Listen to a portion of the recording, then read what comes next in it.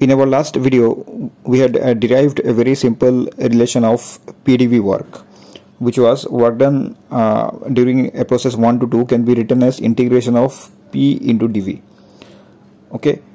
So now in this video what we will do is we will use this relation to find out the pdv work in various quasi-static processes such as the constant pressure constant volume isothermal and the polytropic process okay. So one by one we will solve all these uh, cases. To to start with constant pressure process.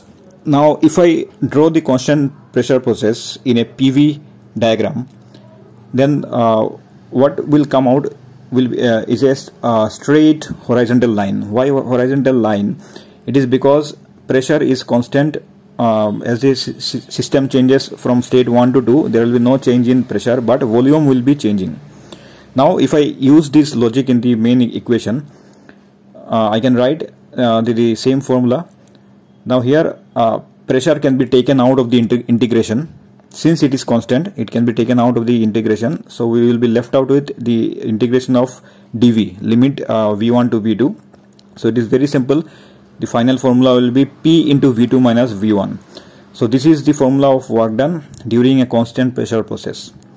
Okay in the next case for the constant volume process if I uh, apply the same logic this time the line will be uh, a vertical line because there is no change in volume.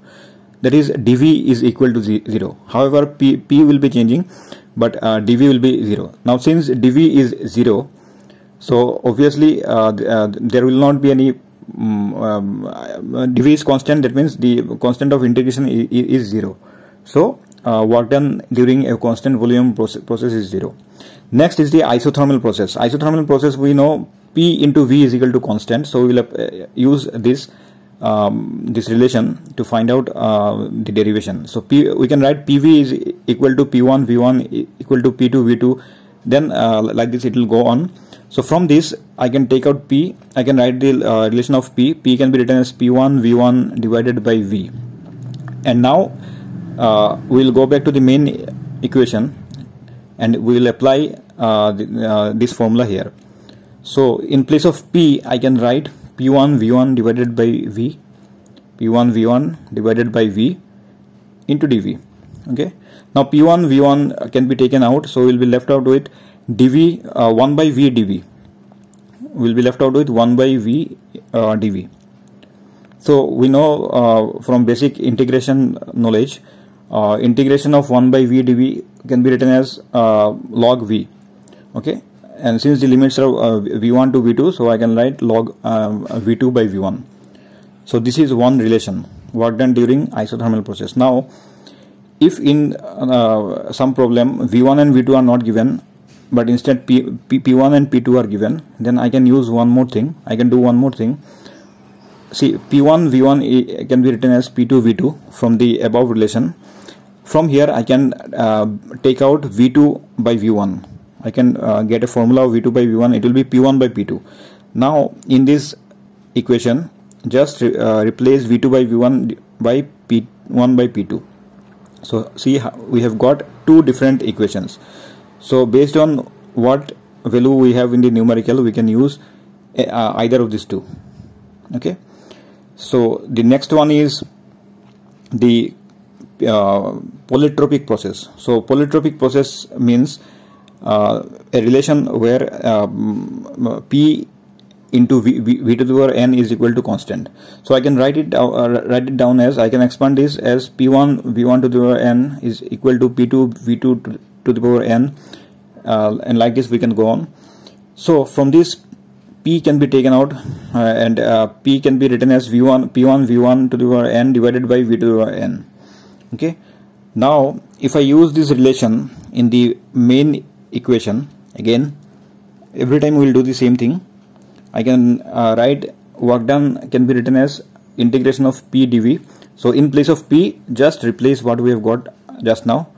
P1 into v, v1 to the power n divided by v to the power n. So again this uh, p1 and uh, p1 into v, uh, v1 to the power n can be taken out so we'll be left out with uh, 1 by v to the power n dv. Now if I integrate it we know uh, I, first I can write it uh, down as uh, v to the power minus n dv. Now it is very uh, it has got, become simplified.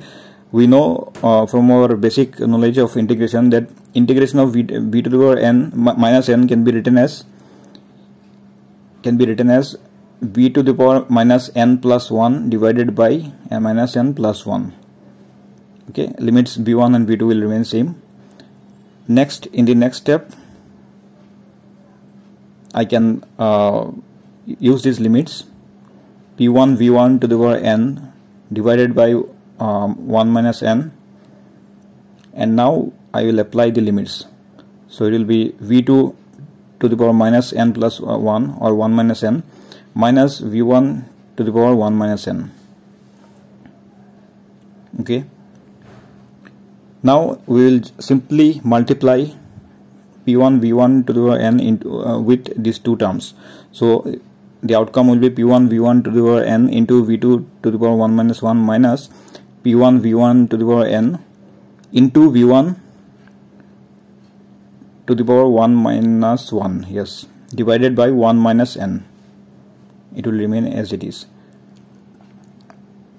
Now this p1 v1 to the power n can be written as p2 v2 to the power n. Easily we can write. So just replace the p1 v1 to the power n by p2 v2 to the power n and everything will remain as it is and write the equation as it is.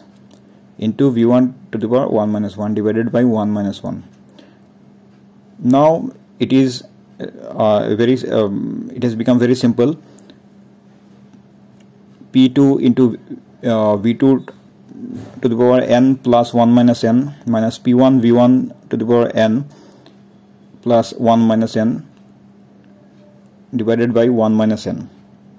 Okay? So last uh, we are left out with one or two two steps two more steps. Um, p2 the result will be p2 into uh, v2 minus p1 into v1 divided by 1 minus n.